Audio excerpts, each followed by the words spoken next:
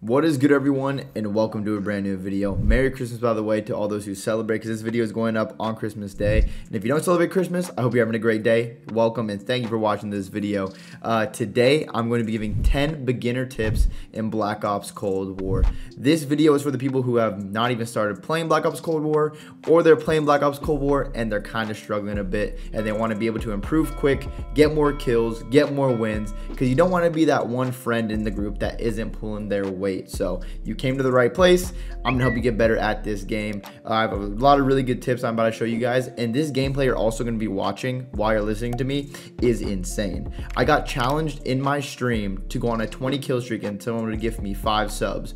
I ended up going on a 36 kill streak. So I got the nuclear and then there's a surprise at the end after uh, I get the nuclear and the 36 kill streak. So make sure to watch to the end because this gameplay is insane. But let's get started with these tips and tricks. So the very first thing you should do when you're first signing on to Cold War or any game for that matter is find a good sensitivity. And if you're struggling to do that, I would recommend if you're you know first time on play on like 551 ADS or 661 ADS. I feel like those are really solid uh, sensitivities to start. And you can go in private match or custom match, turn bots on, or go to verse bots in the lobby and add bots to the map, whatever, whatever, pick whatever map you want, put it on Nuketown, and just run around for a little bit and shoot. You don't have to instantly hop into a public match and try to like um, do too much before you're ready. Get comfortable with the settings first. Of course, you want to get some good video settings. Maybe put the audio on like high boost so you can uh, hear people running around the map as well.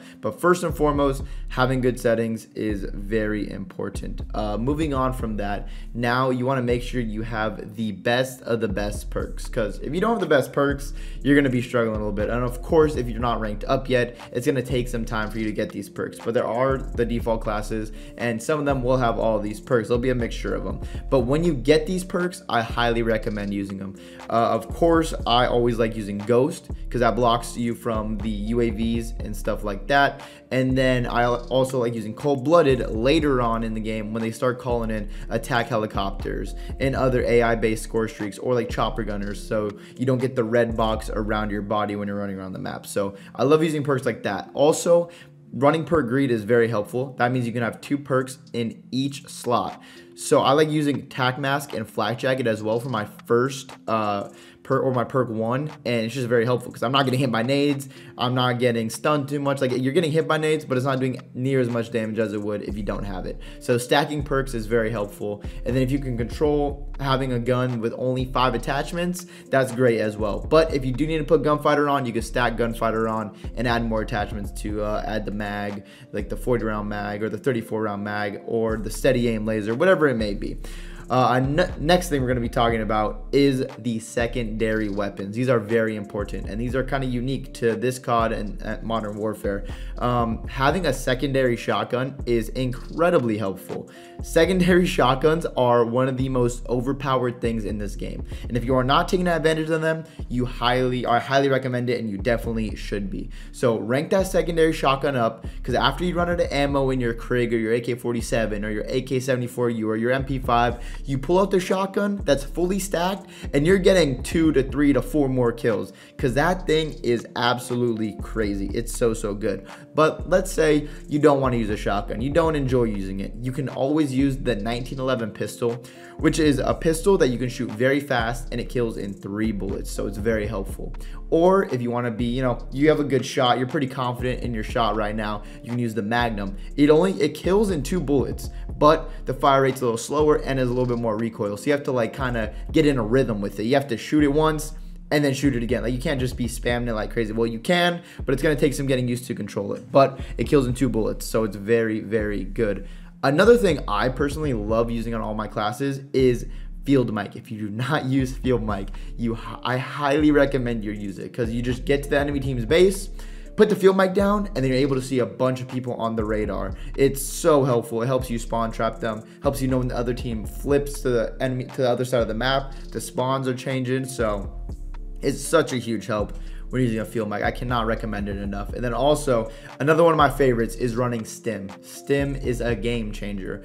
So when you what stim is, when you get shot a couple times, you're obviously hurt. You pop stim instead of using like a stun or a flash, and it gives you health back automatically. So it's very, very helpful. Cannot recommend using stim enough. It helps me just be able to be in the enemy's base, get a couple kills, stim up, and then go back out there and re-challenge to get even more kills. It is incredible.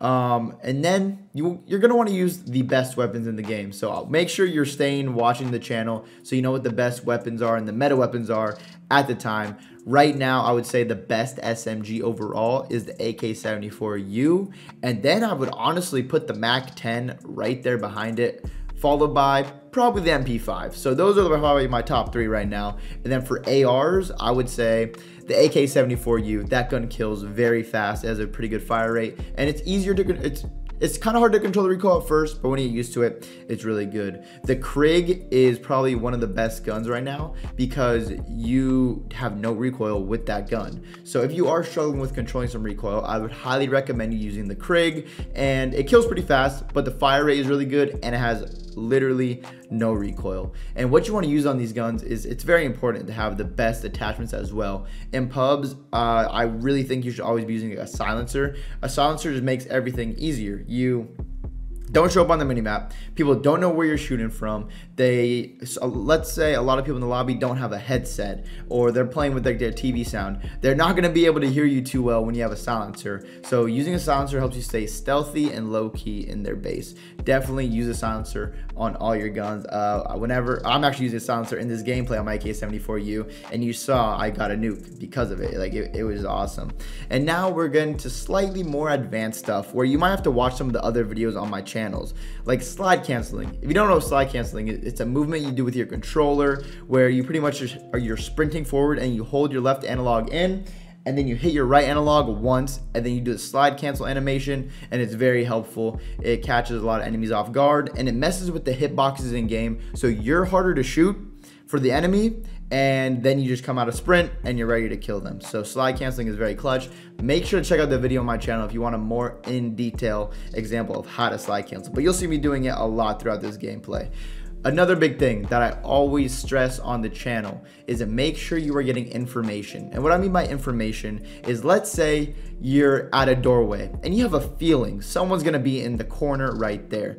You can shimmy the doorway, as we like to call it, walk slightly in and walk slightly out real quick to give it a quick peek. If you have a tactical like a stun or a nade, you can throw a Semtex in that corner to see if they're there. If you get a hit marker, you know he's there, you can walk in, kill him. Or if you get a hit marker, you can shimmy one angle, you see he's not in that first corner, you turn around, you look at the other corner, you know he's gonna be there. So use your tacticals, use your grenades to get information. And then also peek out, but don't put your whole body out there to get killed. Like just do a quick little peek to get information on where the enemy team is. And some other advanced movements. I did a like top five or like something like a pro player secret movements video where I talked about all, a ton, a ton of movements when it comes to walking through smoke. The best ways to get kills while people are throwing smokes around the map. The best way to get kills if someone's under you, you need to slide cancel off a ledge, or you need to jump shot them around a corner, or hit a slide cancel to a head glitch. I made a very detailed video on that, so I highly recommend you go checking that out so you can see this because I wish I could show you guys all right now, but it's in that video. It will help your gameplay a ton, and I like I, and I hope this video has already helped your gameplay a ton too.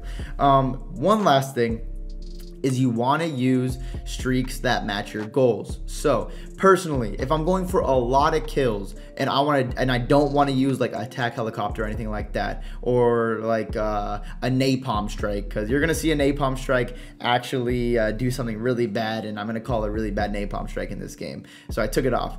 I'm gonna use a UAV and a counter UAV. So I'm gonna be getting all my kills pretty much with a gun until I get my attack chopper later on. But I have the UAV, so I know where the other team is. Of course, I'm not gonna see the people that are using Ghost, but I'm gonna. I feel like majority or half in, it's like 50-50 with people that don't use Ghost. So I still find it very useful to use a UAV. And then I also use a counter UAV. So I'm scrambling the other team's radar. So they don't know, they don't have a mini map. They don't know what the spawns are looking like. They don't know where I'm shooting at. And I have a silencer. So even when they do have the mini map, I have a silencer. So I highly recommend using a UAV and a counter UAV to get as many kills as possible.